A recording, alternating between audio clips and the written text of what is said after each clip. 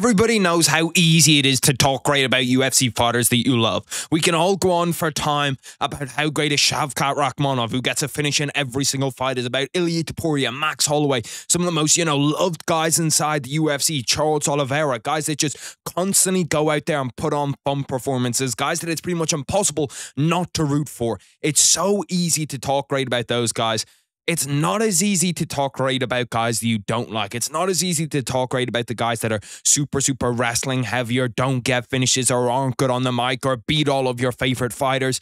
And that's what we're doing today. We're going through and we're talking nicely about all of my least favorite UFC fighters, which I'm not going to lie, it's not going to be easy to do because pretty much for everybody on this list, I don't actually hate them as a person. I just don't like their fighting style. So I can't go for like Belal. Oh, well, Belal is a good person outside of the UFC octagon.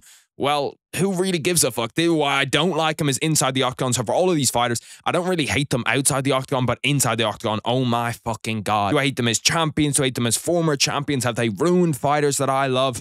There's so many guys down on this list. But before we get into it, make sure to like, sub, all that YouTube shit. It truly, truly does help me out a ton. Your one like puts it to 100 more people with the click of a button. And also make sure to subscribe because I think only like 25, 30% of the people that are watching my videos are actually subscribed. So if you're liking the videos, please do subscribe. Let's get right into it though. Starting off, we are going to start off with the man that I mentioned, Merab Dvalishvili.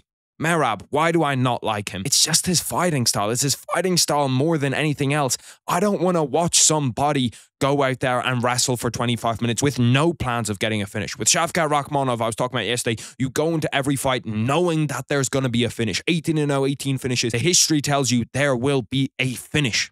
With Merab, it's the complete opposite. The history tells you there's no way he's going to get a finish. The history tells you he's probably not even going into the fight thinking about a finish. So, what do I like about him? One, you have to admire how hardworking he is. He doesn't just have the best cardio in the UFC from pure genetics. I'm sure that he has good genetics, don't get me wrong. Sure, everyone in the UFC has good genetics. But how hardworking he is to get that 25 minute cardio, to be able to shoot 50 times against a Petr Yan, that's exceptional. That's super, super, super impressive. And for not being that great at anything, because now we look around the UFC champions, we're like Dricus du Plessis, you know, even Sean O'Malley when he was there. Pretty much all of those guys are exceptional at everything. Look at Islam Makhachev, really good kickboxer, elite wrestler, got good judo, got good jiu-jitsu, got good everything. And that's pretty much all the champions of the UFC, apart from one or two exceptions.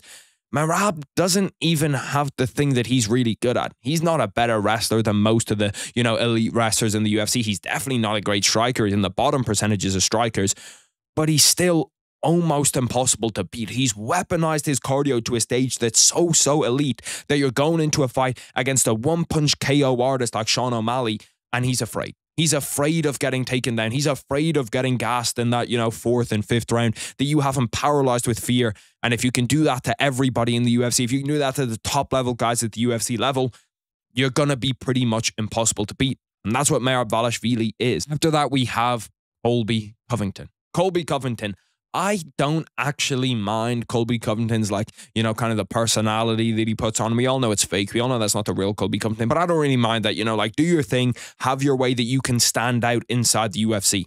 The problem that I have with Colby Covington is the ducking. The ducking, the, you know, I don't want to fight Ian Garry. and then you're talking shit on social media, but then all of a sudden it's like, oh yeah, my leg was broken, oh my arm was broken, all of this different type of shit. This is why I can't fight Ian Garry. No, I'm not recovered yet. But the one thing that he does do is he's going to get you hyped for a fight. And that's with every single fight, time after time after time after time. I don't believe that that Colby Covington character is his real character. Pretty much everybody knows that that's kind of like a fake character that he puts on.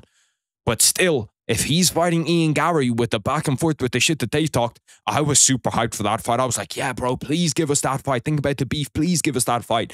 Then you look at the Kamaru Usman fights in the past. I was hyped for all of those. You look at the Leon Edwards fights in the past, especially when he started talking shit at those press conferences. I was super hyped for that. So in a division like 170, when there wasn't a whole lot of convincing challengers during that Kamaru Usman reign, he still made every single fight hype. He still made every single fight super, super fun. He makes every press conference super, super entertaining. And although he's a wrestling heavy guy, he can still throw down. He can still, you know, stand on the feet and really, really put it on people. And he's also a super, super hard worker, which is shown in his gas tank. And also, he fights at his natural weight.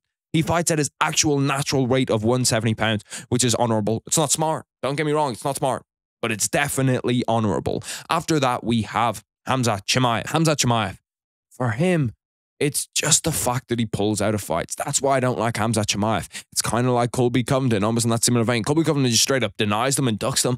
But with Khamzat Chimaev, we just see now so often we get to the very, very end of a fight card where we're like, oh shit, Khamzat Chimaev, man, we're going to get to watch Khamzat fight again and all of a sudden he pulls out. Or all of a sudden, you know, he's missed weight by eight pounds and now we have to watch Kevin Holland and Khamzat Chimaev instead of the matchup we are going to get to watch. And he's making the UFC reshuffle their entire card. And it's not reporting shit to the UFC. Khamzat Chimaev, it's not even the fact, like we've seen a lot of fighters pull out of fights. We've seen a ton of it.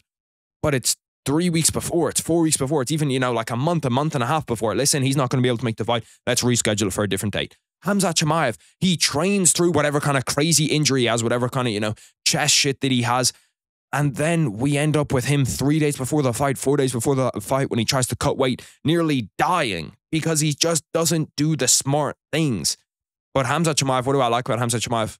It's almost like what is there not to like about Khamzat Chimaev? If you can get him inside the cage, if we can truly get Khamzat Chimaev to get inside the cage and be healthy and, you know, have the weight cut done right, He's so much fun. He has maybe the highest potential in the entire UFC. We've heard stories of him, you know, out wrestling UFC heavyweights. We've heard stories of him ragdolling UFC heavyweights. We know that, you know, Dricus Du Plessis, Caio Borralho, all of these guys, Sean Strickland, he's sparred in their gyms. And those guys are saying, my hardest spar is Khamzat Chimaev. The hardest guy that I've ever sparred is Khamzat Chimaev. So the potential is there. He could be great. He could be so, so, so good if he could just make it to a fucking fight, man. After that, we have probably the person on this list that I dislike the most. I'm going to be honest with you. Probably the person on this list that, like, I really, really, really don't like Raquel Pennington. Raquel Pennington is the current 135 pound champion. There's not very much to like about her. The fighting style, no on mic. She is the worst ever champion we've ever had on the mic. I genuinely think I get more enjoyment out of UFC fighters that cannot speak English than I do Raquel Pennington who can speak English. I get more enjoyment out of fighters that just don't say anything than Raquel Pennington. She kind of does this like weird nonchalant act, but it just comes off like, bro, you just sound like a fucking dick. Like you just sound like a dick anytime you talk. And she's not fun inside the cage. She's not fun inside the cage. Has like a super boring wrestling heavy but no finishes style. And the nice thing that I can say about her is she's maximized her career. There's some guys inside the UFC where we look at, you know, like busts inside the UFC that just didn't really live up to their potential, that we thought were going to be triple champs, that we thought were going to be double champs, like a Khamzat Chimaev. People were talking about triple champ by now already. If you're talking about four years ago, people would have 100% thought that Khamzat Chimaev would be a UFC champion by now, but he hasn't lived up to the potential. With Raquel Pennington, it's the opposite. She's maximized her career for how bad she is. Because my God, she is a She's not great. She's not great at all. After that, we have the current 170 pound champion, and it's Belal Muhammad. I was talking about how Belal Muhammad does a lot of great stuff outside of the cage, which I truly, truly do believe he does. Belal seems like a nice guy. He seems like an actual good guy. But inside the cage, no. I'm not a fan of Belal inside the cage. We all know the reasons why. I think that his personality is bad. I think that his performance against Leon Edwards was good, don't get me wrong, but I don't think that Leon Edwards was at 100%. And even with Leon Edwards not being at 100%, and even with Gilbert Burns having one arm, he still cannot seem to get finishes inside the UFC, which is something that I hate. But you have to applaud Belal for taking his chance. The most pressure on that night in that arena was not Leon, was not Tom Aspinall, was not Paddy Pimblett all walking out in front of home crowds. It was Belal Muhammad. Belal Muhammad walking out against a crowd that hates him, walking out knowing this is my one chance. I'm 35 years old. The stats are against me, everything is against me, but I'm still going to do it. And that's clutch. That's that ice factor, that clutch factor going up against a pound for pound number three in Leon Edwards in your one shot. Because bear in mind, if he loses this fight, he never gets a title shot again. He's not fun enough on the mic. He's not got an entertaining personality. He's, you know, not got a fun fighting style by any means. So this was his one chance, and he put on a masterful performance. He put on a super, super clutch performance for his only chance at a UFC title. So if nothing else, you do truly have to respect that. You have to respect that Belal Muhammad, they gave him his shot, they gave him his chance at the king, and he did not miss. After that, we have the only non-current fighter on this list, and I had to put him down here because I feel like if I'm doing a video, I'm talking about fighters that I hate and giving props to fighters that I hate, he has to be down here. People would be calling for me to put him down here if I didn't put him down here. It's TJ Dillashaw.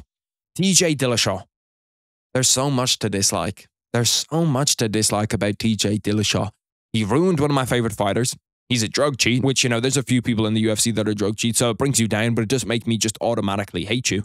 But ruining Cody Garbrandt because you're a drug cheat. Then we have snaking your own gym. Like there's so much just reprehensible shit that TJ Dillashaw has done. But, but after saying all that, and I still don't like the guy, he's one of the only UFC fighters, him and Raquel Pennington, that I actually really hate. I don't like him as a person. I don't like him as a fighter but he does have probably the most fun fighting style on this list. The reasons why I dislike TJ Dillashaw are once again, they're outside of the cage. Once you get him inside the cage, if we just take away everything else, which it's hard to do, take away everything that I know about TJ Dillashaw, if I'm just to watch him inside the cage, he does have a fun fighting style. He does, you know, have KO power. And one of the only guys at 135 in that time and at 125 when he went down for one fight that would have KO power in those divisions and he's not a wrestling heavy guy. His prime was super, super high. And you could, if you've been, you know, kind of like swapped to the dark side, you could make an argument for him being a top three bantamweight of all time. I don't want to hear any GOAT bantamweight discussions. Do not throw him in there. Don't throw him in there. Don't try it. But you could make an argument for him being a top three bantamweight of all time. After that, we have Arman Tsarukyan. Arman Tsarukyan. Why do I not like him?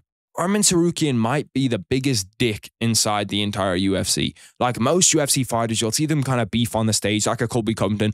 But when you bring him away from that scenario, he doesn't really give a fuck. He's not, you know, going out there being like, oh yeah, I fucking hate Kamaru Usman. I hope Kamaru Usman gets knocked out in every fight to his friends. Arman Tsarukyan when Bobby Green got knocked out and when Bobby Green had, you know, that really late stoppage, one of the worst stoppages in UFC history, Arman Tsarukyan went on the next day, went on Ariel Helwani show and said that like he hoped that he got hit with an extra few punches and that he hoped he has brain damage. That's not cool. That's just super not cool over a little beef that they had inside like the PI or the hotel or wherever they had their little beef. Then you have him punching a fan in his walkout to Charles Oliveira. I also don't fuck with that. Then you have him and his team doing the like crying face to Charles Oliveira after he got the loss against Arman Tsarukyan in a close fight. That shit's crazy. That shit's crazy. And that's why I don't like Arman Tsarukyan. But with all of that, he does have some things that are likable. He does have some things that I do like. He's a possible pound for pound number one.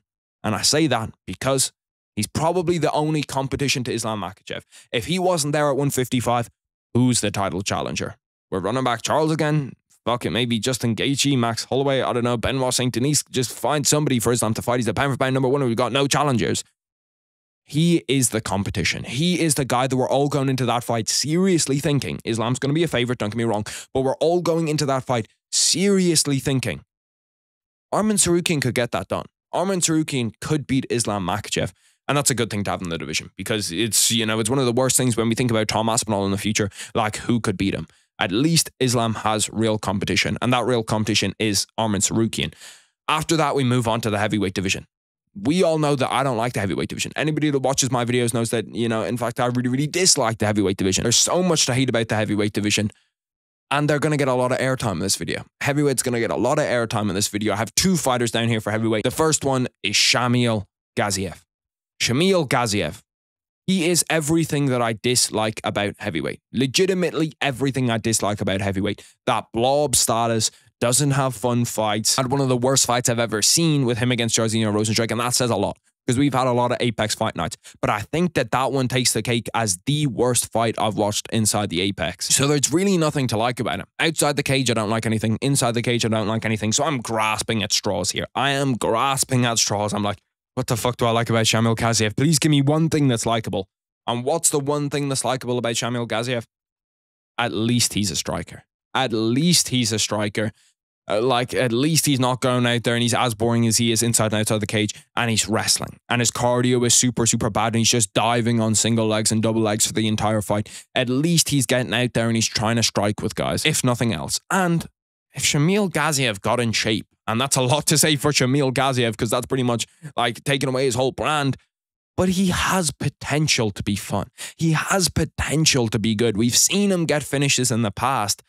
Right now, it's awful. It's not looking good, but at least there's some potential with Shamil Gaziev. And the final guy that I have down here is a guy that I never thought would be on this list. I'll be honest with you. If you asked me a year ago, if you asked me six months ago, I would have been super, super surprised to see this guy on this list. It's Robelis Despaigne. Robelis Despaigne was the chosen one. He was the guy at heavyweight. He was the guy that was going to challenge Tom Aspinall. He was the guy that was going to make that heavyweight division fun. We obviously all saw the knockout compilations, him getting a knockout in five seconds, in 10 seconds, and he comes into the UFC and gets a finish inside the first minute. And then he fucked us all over. He fucked us all over. He made heavyweight dog shit again because we realized if Waldo Cortes Acosta is able to wrestle you for 15 minutes and you're not able to land your biggest shot, and even your biggest shot doesn't knock him out, you're probably finished at this UFC level, especially the way that he's 36, 37 years old. But his saving grace is at least if you put him up against bums, he's always going to be fun. He's always going to be box office. He's always going to be fun to watch if you get him the correct matchup, which I think the UFC are going to be smart and they're going to do. They're going to get Robelis Despaigne matchups where he's always going to be the favorite, matchups where he can showcase that round one KO power and that's what I like about him. That's what I like about him is that at least he has a lane inside the UFC to be that kind of freak show heavyweight that we haven't had in a while. But that is saying good things about every UFC fighter that I dislike. Make sure to like, sub, that YouTube channel. I'll catch you boys tomorrow. Peace.